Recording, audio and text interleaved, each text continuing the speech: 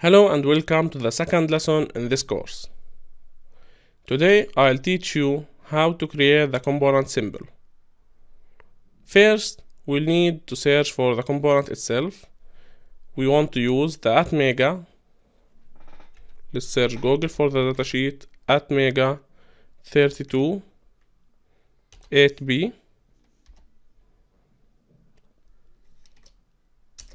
Then click enter as you can see we have a lot of files. We want the uh, PDF file. Let's see if this is the one that we want.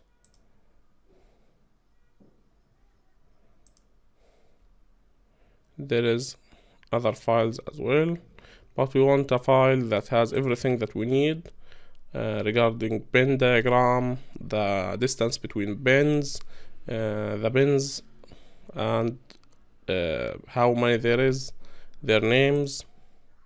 Let's open up. Okay as you can see this is the atmega 328 slash b and this is a full data sheet.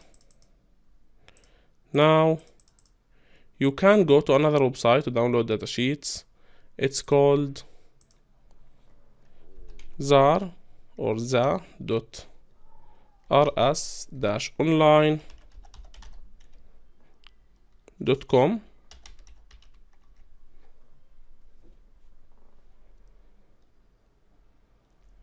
Okay. This is uh, an online website where you can also find data sheets. I prefer the Google method. You can simply write the name of the item then dot PDF and it will show you the results in PDF files. Then you can check out what you want.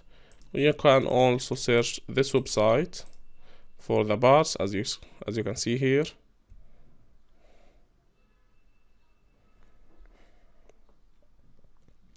And you can open any of these bars then check the PDF file. Let's see. Let's search for the AU module because there is lots and lots of modules here. As you can see we have the AU uh, this is the PDF file. We can simply click it. And it will open up here for us to download. And as you can see it has everything that we want. Here is the bin diagram how many bins uh, how these pins are arranged the type of each pin. As you can see this is a very uh, informative data sheet. Here is the pins the space between each pin and the next one. Uh, these values are very useful when creating the item in the Altium designer. So let's see let's return to the first. Okay. We don't want this pin diagram. If you want it you can use it. We want this pin out. As you can see this one or we can use this one depending on the IC that you have. This one is called TQFB it has 32 bin now let's start by adding a new library integrated library for this design by clicking here file new as you can see here project then integrated library. This is our integrated library. Now as in what we did for the project file we added schematic and PCB here we want to add a schematic and PCB for this library. So right click on it add new schematic and then again back to the project. Add new and PCB okay. That's it. Let's save the integrated library back to the project here and save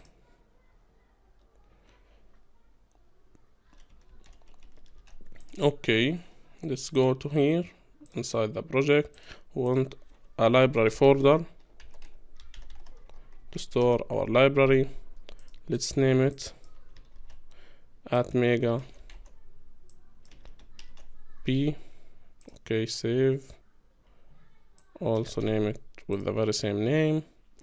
Uh, don't change the extension here. Just as you can see. Now we have a library with the name Atmega 328p uh, with both schematic and PCB file. That's it for creating a new library. And now you can simply add a schematic to this library and you can add a PCB okay now open the schematic file as you can see this is the schematic file.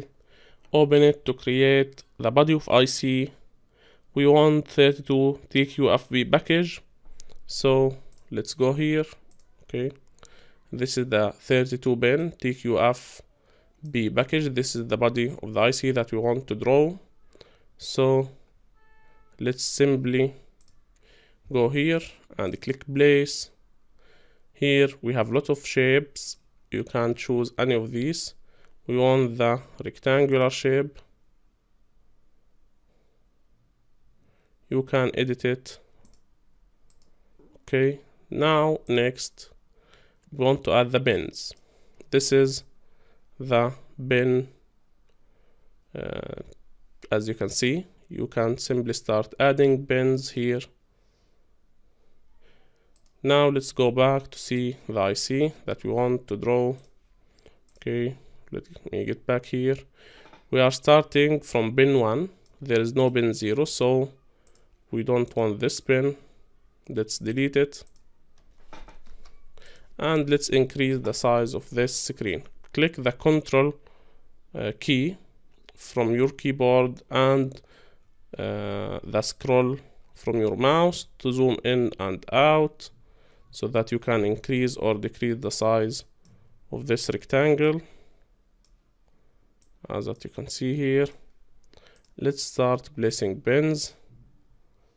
Pin 1 2 3 4 5 6 let's see how many pins is there. 1 to 8 then 9 to 16 okay 7 8 now let's reduce the size of this. Okay one two three to 8 9 here we have the 9 to 16 let's go. Place pin. Rotate it. Okay again. Let's go to the bin. You can add this pin simply by dragging here. Now we need to rotate this pin. Using the spacebar you can rotate this pin. So let's rotate it. 9 10 11 12 13 14 15 and 16 let's rotate one more time. 17 18 19 20 21 22 23 and 24 let's see. Then 25 to 32 up here. So place pin and the spacebar again. 25 26 27 28 29 30 31 and 32 so this is it for adding the pins next we will change the pin names depending on the datasheet but that's it for this lesson. I don't want to make it uh, longer. Uh, thanks for watching. If you have any question regarding anything please ask in the q&a board. I'm more than happy to help. This is educational engineering team. Thanks for watching